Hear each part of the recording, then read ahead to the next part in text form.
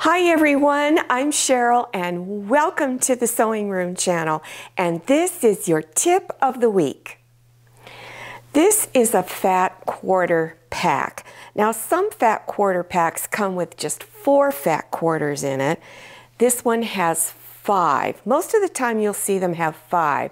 Sometimes you can even buy really giant packs of fat quarter. But some of the viewers have been getting confused with what's the difference between a fat quarter and a quarter of a yard. So I'm going to go over that.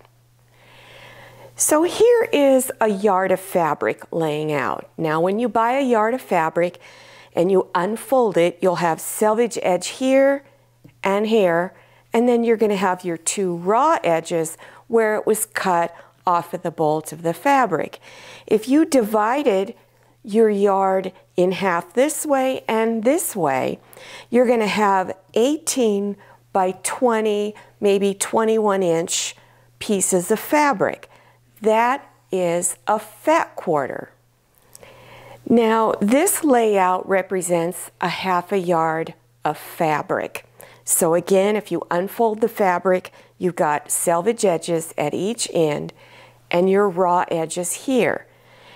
If you wanted a quarter of a yard and you went up to them and asked to, for them to cut it, they're not going to give you a fat quarter. They're going to cut from selvage edge to selvage edge with the fabric folded. And they'll go over nine inches from this raw edge.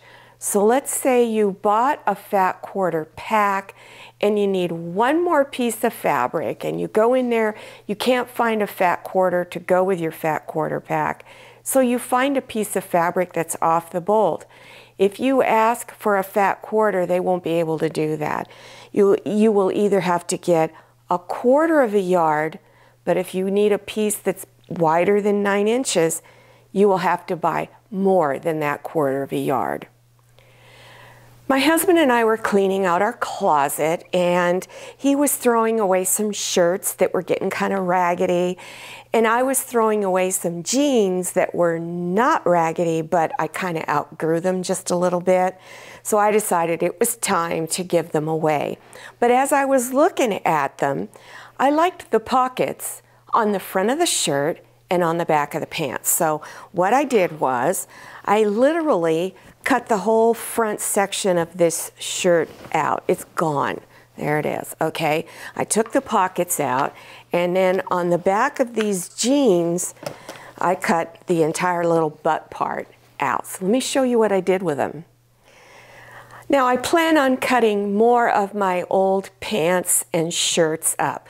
You don't have to use denim. It can be plaid shirts, any kind of shirts you want that have pockets all about the same size. So you can stitch them into a quilt. So you would stitch each row together all the way across, then stitch your next row together. Once you got all your rows stitched, then you would stitch each row together. Now my squares are about eight, maybe eight and a half inches. So this is what I intend on doing with it. It makes a nice little toy storage for the kids. Now this, my husband never grew up. He still has little toys. This is one of his. And you can put them in the pockets of the quilt. So it's a fun little playtime quilt for the little kids. Now you're probably wondering, well, what did you do with the rest of those pants and the shirt that you cut up? Well, there's still a lot of good parts left on that shirt and the pants. So you could cut up your fabrics and do something called rag quilting. So what I've got here is a square of denim fabric. You can make it any size square you want. And then on the back, I have some quilting fabric. It happens to be children's fabric. And then I have one more square in the middle that's red. The red kind of goes with this red in this print right here. Now, all of your squares can be different. They don't have to all be matchy-matchy. So let me show you how to stitch them together. Now, here's a set of squares here and here. So there's three in each set. Now, you can do more. I've seen people do up to six. That's a lot of cutting you need to do later, so I usually like to stick to around three, maybe four. So I've got all my squares together, and I'm bringing this side against this side because I want the denim to be on the front. So you have a seam here, and I made my seam a half inch wide. It all depends on the person making the quilt. Maybe you only want to do a quarter inch wide. I want to do a half inch. Then, after I've stitched it all together, you're going to do this clipping. So you've got all your squares together in each row, all your rows stitched together. And then you're going to use something called rag quilting shears. And these are incredibly sharp.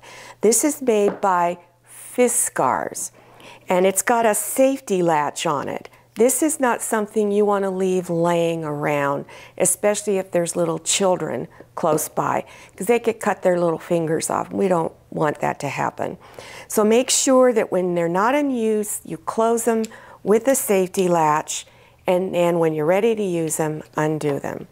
So what you're going to do to all your seams is you're going to go up to, but make sure you don't cut through the stitch line.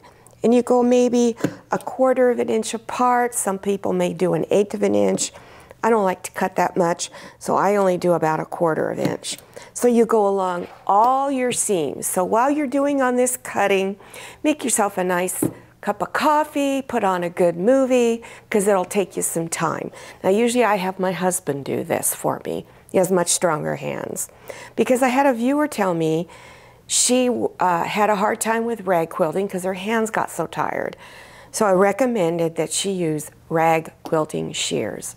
So your next step would be is to throw your quilt in the washing machine. Then put it in the dryer and you're going to keep it in the dryer for quite a while.